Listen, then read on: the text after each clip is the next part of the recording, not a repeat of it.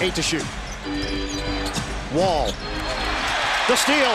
Corver bounces it ahead. Tracked down by Bazemore. He saves for Schroeder.